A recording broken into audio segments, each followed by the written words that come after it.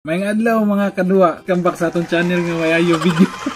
Karon atong hatagan og experience ang Lenovo GM2 Pro TWS Gaming Bluetooth earphones. Kini ang earphones nga gidisenyo para sa mga gamers ug sa mga hilig og music. So kung inyong gipangita palihog lag tan-aw sa atong pobre unboxing and review karon. Let's go.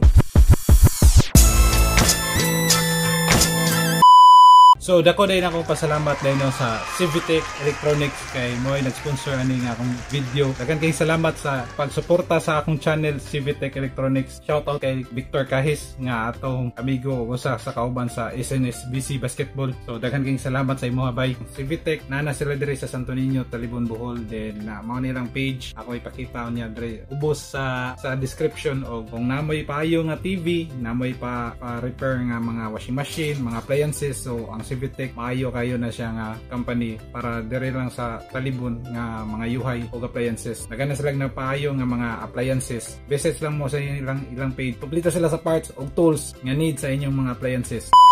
Okay mga kadua kay pobre raman tayo. Pobre sa medyo barato na siya. So ang iyang price is 399 pa niyang price? Kay naka-sale man ni siya. So ato na siya i-unbox mga kadua unsay mga soda ni niya? Okay unboxing na So unsay ang mga sulod. So mo ni siya mga kadua. Gamitan sa nato og edge cutter, okay? So atong i one. Nice. So unsay sulod sa iyang box, okay? So katong tangan ni plastic cover. Nya, let's unbox. Okay, uy, ngayon tagak. Ano mo to? Ako kuhan, QPass Certificate of Quality, no? So, mo ni siya sa Lenovo GM2 Pro. So, unsay sulod ani?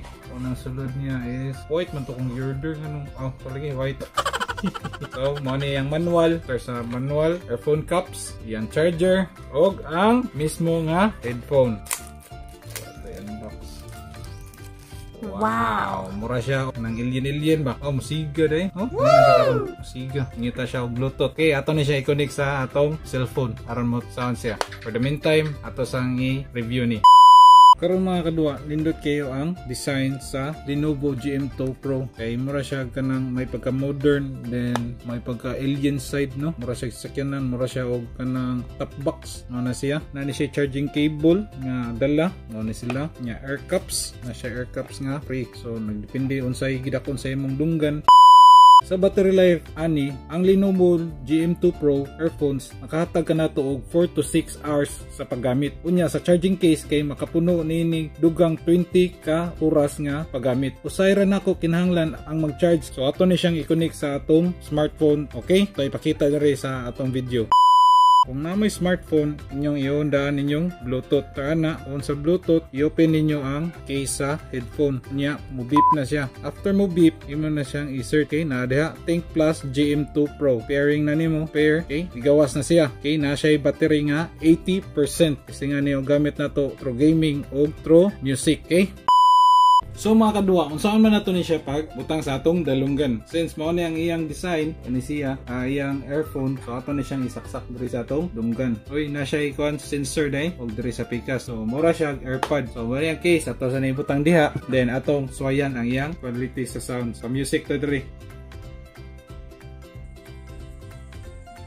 So about sa iyang quality siyang sounds mga kadwa, ako siya gigamit sa games ug ako siya gigamit sa music pero ay nakanindot niya kay sa games dili siya mo delay. So kung unsa gani actions nimo unsa imong giduwa sa games mao gyud ang iyang feedback. Then about sa music sad na siya okay kay siya clear sound siya pero ang iyang iyang bass is dili para sa uban nga quality earphone. So kung hili kay mog music nga na bass dili kayo siya buto pero magdepende na sa inyong gusto mga kadwa. Ato siyang suyan kung mag-workout ta, maglakaw-lakaw ta, kung comfortable ba siya sa atong dalunggan. Okay mga kadwa, so ato sa ni isusuroy.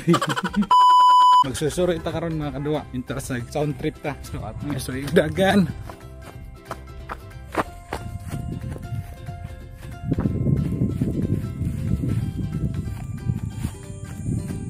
So di siya matangtang no.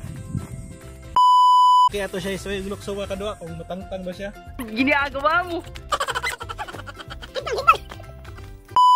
Karon mga kadua, conclusion na ta sa pagpalit na to aning Lenovo GM2 Pro. So kani siya di ka magmahay no, nice kayo white ang akong gipili. Nani siya ilaing color variant which is black kung ganahan mo black nindot kay siya for workout. Kaya akong purpose ani is for workout. Mag-walking ko mag-jogging ko or mag-workout like push ups sit ups di man siya matangtang og inig dagan inig i ano mo. Ni atong silbi neuron nga kuan so mo ni siya karon. So wa man tay ka afford para alam mo na ng Apple nga product. So kadi lang sa ta. So since pobre unboxing man lagi ni. Dagan kay salamat mga kaduwa sa sunod na sad nga video kita kits na punta. Og natay pohon nga grand pobre unboxing. Salamat kayo sa tanan nga nagsuporta sa akong channel. Og og moabot gani tag 1k nga subscribers under sa 1k subscribers mo'y makadawat sa smartphone nga atong ipag-giveaway. Pohon kay na natay mga sponsors mga kaduwa so Wow. dagan kayong salamat og kita kits sa sunod nga video.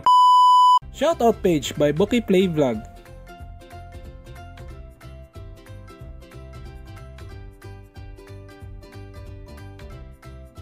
Loh, nindot lagi lagi video. Ato na ni